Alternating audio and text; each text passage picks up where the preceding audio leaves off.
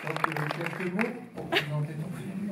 Alors, avant de présenter mon film, moi j'ai des annonces à faire. Euh, Marie-Françoise, j'ai euh, pour la tombola de la crèche euh, les sous, voilà, et mes tickets. Anna, j'ai la petite gourde de Zoé, donc, je te tout à l'heure. Et Delphine, j'ai la carte grise de la voiture que je euh, tout à l'heure. Euh, quoi dire? Euh, bah, C'est ce que j'ai dit en descendant. J'avais l'impression d'être euh, à un moment de ma vie où je croise tous les gens de, ma vie. Donc c'est très très émouvant. L'impression d'être dans un film, de vous présenter un film. Bon, voilà, je, suis très très ému. Je vais pas vous le dire 200 fois, mais mais c'était important pour moi d'être à Tours. J'ai demandé à mon distributeur une belle avant-première. C'était celle de Tours. Euh, voilà, pour la bonne et simple raison que euh, bah, c'est à Tours que j'ai commencé à être heureux. Et puis c'est à Tours que j'ai commencé à faire euh, mon cinéma.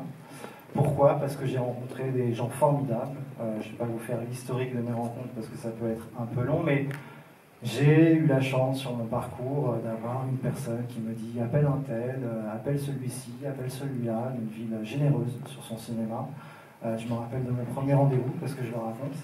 Euh, je suis allé toquer à la porte de chez Cyclique, j'ai rencontré Jérôme. Alors je sais pas si Jérôme tu es là ou toi? Il est juste là. Jérôme qui a pris le temps de m'expliquer euh, le cinéma en région centre, qui m'avait même proposé de venir me chercher euh, à la gare de, de Château-Renaud parce que je savais pas que c'était pas côté collé à, à la gare. Donc j'ai eu même le droit à quelqu'un qui me proposait de venir me chercher. Et à partir de là, bah, j'ai fait mon cinéma et puis j'ai appris à faire du cinéma parce que euh, je le dis souvent, la meilleure école que j'ai pu faire et vivre, c'est l'éducation à l'image. Et j'ai appris à faire du cinéma au contact euh, des plus mauvais techniciens, peut-être, puisque souvent j'avais des jeunes gens qui ne voulaient pas faire de cinéma, et d'apprendre à leur donner envie de faire du cinéma et de voir les meilleurs techniciens à l'issue d'un tournage.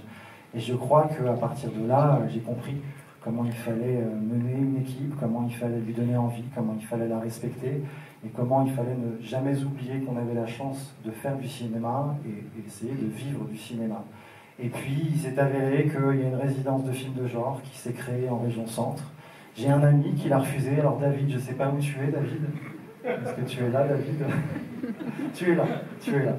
David qui m'a dit non, écoute, celle-là, je la fais pas. Donc, il a fait celle d'après et il m'a laissé la chance de pouvoir faire cette, cette résidence dans laquelle euh, j'ai fait un court-métrage, Acide, qui lui-même avait été inspiré d'un court-métrage suédé que j'avais fait avec euh, des professeurs magnifiques au lycée viticole d'Amboise, puisqu'on a suédé la mouche, et notamment ces régurgitations acides de cette euh, personne qui se transformait en mouche. Et à partir de là, bah, je rentre dans une résidence et je développe un, angoisse, un trauma, euh, bref, une envie de cinéma euh, peut-être pas comme les autres, et ça m'ouvre un champ des possibles. Et puis il y a la nuée qui se présente devant moi, et entre-temps, bah, je réfléchis à Acide, je continue à être heureux, et je grandis. Voilà. Et puis, bah, à force de grandir, et à un moment donné, on est plus à Paris qu'à Tours, malheureusement. Et puis, on fait des choix de vie euh, qui vous simplifient euh, l'amour, la famille et la raison d'être euh, heureux tous les jours. Donc, on, fait un choix de départ et, et on quitte une ville dans laquelle on a été heureux. Et j'étais dans le train et je regardais, j'arrivais à Saint-Pierre et je me remémorais mes expériences euh, à la morinerie, euh, pas loin, euh, mon équipe de foot, bref, tout ce que j'ai pu connaître, tous les gens que j'ai rencontrés et tous les gens à qui je voulais présenter mon film. Donc dans cette salle, il n'y a que des gens qui m'ont enrichi, il n'y a que des gens qui m'ont donné l'envie de faire du cinéma plus loin encore. Et puis il y a cette merveilleuse dalle de cinéma dans laquelle j'ai grandi comme cinéphile. Et surtout, alors c'est assez drôle parce que l'anecdote, c'est que le premier film que j'ai vu en arrivant à Tours, c'était Une vie meilleure de Cédric Kahn avec Guillaume Canet.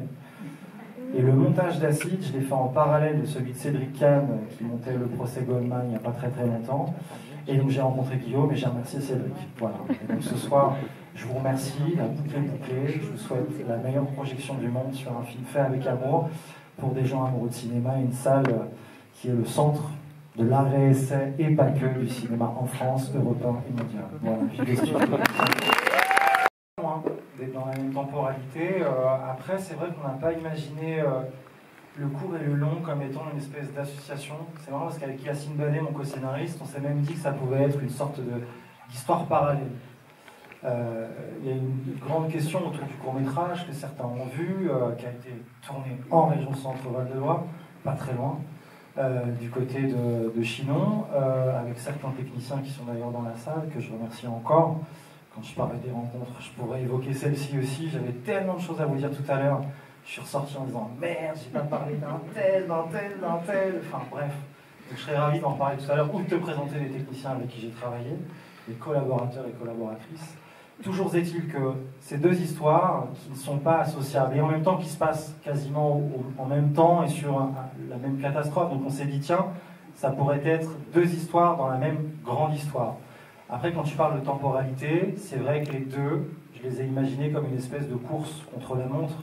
Donc il fallait tendre une sorte de, flèche ou d'arc, de tirer le plus loin possible, et d'avoir cette même logique d'un seul geste. Donc c'est le même geste, mais sur euh, deux formats différents. Parce que tu parles de temporalité, on est sur 2-3 jours. Alors, acide le cours, c'est quasiment sur 3 heures, si je devais résumer les choses.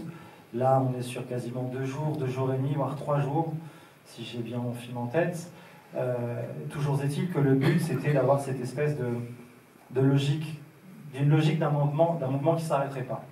Sauf que le long métrage, c'est 1h40, le court métrage, c'est à peine 12 minutes, donc il fallait dans l'écriture complètement oublier ce court métrage pour réussir à avoir cette même logique de mouvement, mais sur une histoire capable de tenir euh, les promesses d'une heure et demie. Même logique. En fait, c'est la même logique et tu l'adaptes euh, à un environnement qui est peut-être plus complexe, mais que tu, que tu travailles de la même façon. Vraiment, enfin, je reparle de l'éducation à l'image s'il y a des jeunes réalisateurs ou des jeunes réalisatrices ou des gens qui aimeraient faire ce, ce métier-là. L'éducation à l'image, c'est la base. C'est vrai que quand tu rentres dans une classe tu as besoin de fédérer un groupe, il faut que tu apprennes les prénoms assez vite. En fait, moi, très vite, sur mon plateau, j'avais des gens qui me disaient Putain, juste, euh, c'est fou parce que tu dis bonjour le matin à tout le monde. Quoi. alors, c'est encore plus fou parce que tu demandes les prénoms euh, des techniciens avec qui tu bosses. Puis alors, c'est plus dingue parce que tu présentes les techniciens les uns envers les autres. C'est vrai que moi, tous les jours, dès qu'il y avait un stagiaire, dès qu'il y avait des figurants, dès qu'il y avait des comédiens, j'avais besoin que tout le monde se connaisse. Donc j'étais là, Guillaume, Guillaume, je te présente à Daniel, Daniel, je te présente à Thierry, Thierry, je te présente à Mélissa, Mélissa, je te présente à Mehdi. Enfin, il y avait une logique comme ça de famille ou de, groupe. Après, euh, ton job, c'est d'élargir cette famille euh, en fonction des besoins. Et c'est vrai que la logique du court métrage et la logique du long métrage, c'est la même. Sauf que tu as, euh, je dirais, dix fois plus de collaborateurs, mais tu as des équipes qui sont structurées pour réussir à, euh, je dirais, euh, permettre les échanges de la même manière. Moi, j'ai des équipes que j'écoute. Mon job, c'est d'avoir ces idées remontées, d'avoir une forme de joie sur un plateau, même si c'est assez, euh, assez compliqué. En tout cas, je ne dissocie pas fond et, joie de fabrication. Et à partir de là, il y a toute une espèce de, de logique comme ça de rencontre qui se fait. Tu travailles zen. Après, oui, il y a une pression, tu as des journées qui ne sont pas extensibles on avait un petit budget par rapport au film qu'on voulait faire, donc tout d'un coup on rentrait deux journées parfois sur une seule, donc tu n'as pas le droit de te planter sur le retard.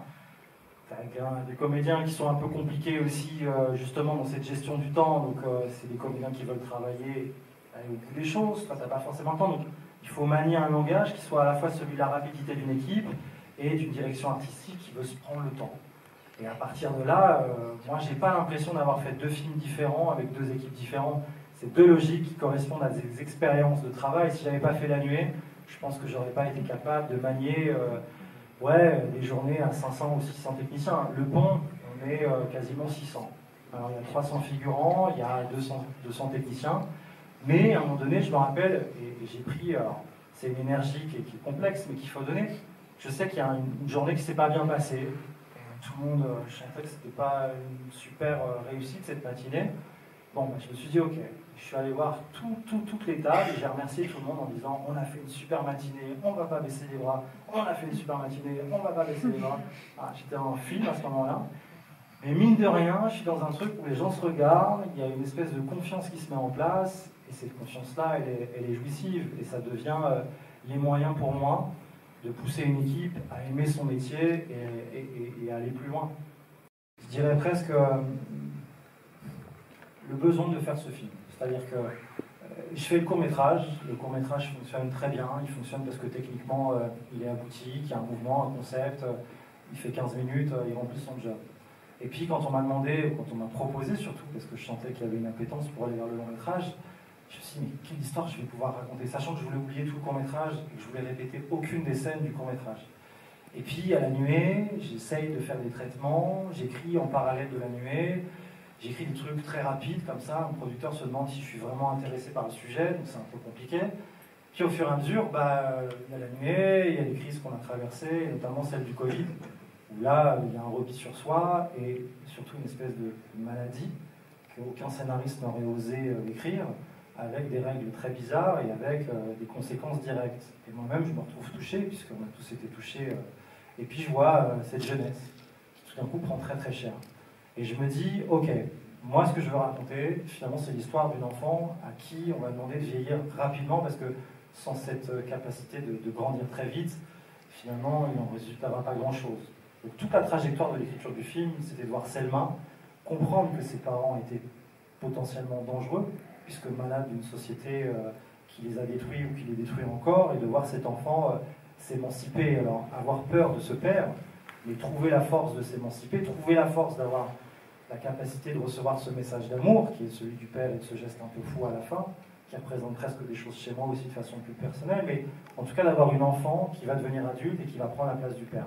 Et je dis souvent que Acide, c'est un film très noir, je l'assume complètement, et j'ai des évocations de films russes, enfin, parlera des références si vous le voulez, mais je voulais absolument dire que c'est un film noir, mais c'est un film qui ne renonce pas. Pourquoi? Parce que cet enfant, est au chevet du père qui est devenu son enfant, quelque part. Elle lui a pardonné parce qu'elle l'aime encore, ça restera son père toute sa vie, mais c'est à elle de construire demain.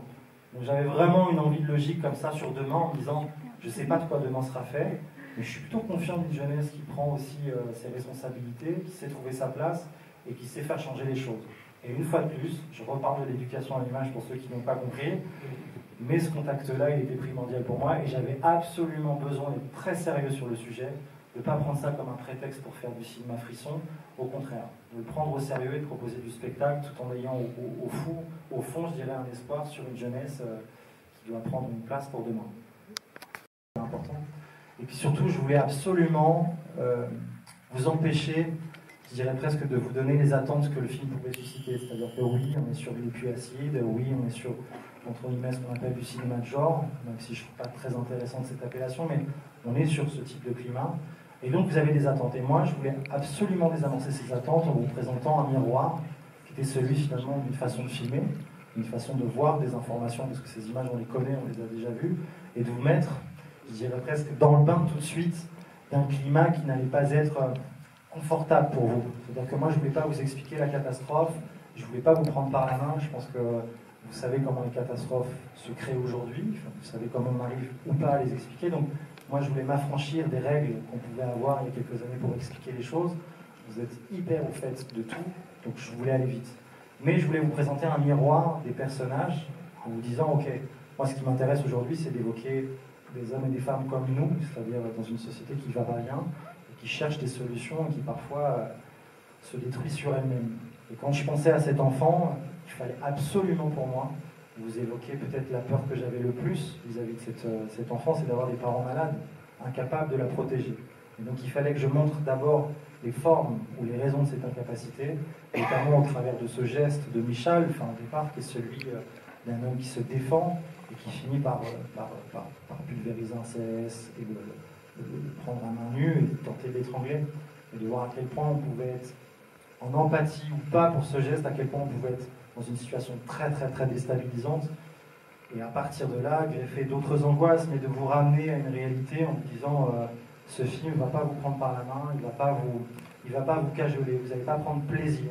Parce qu'une fois de plus, je voulais prendre très au sérieux ce sujet, et vous proposer un spectacle qui ne soit pas simplement un spectacle, euh, comment dirais-je, prétexte.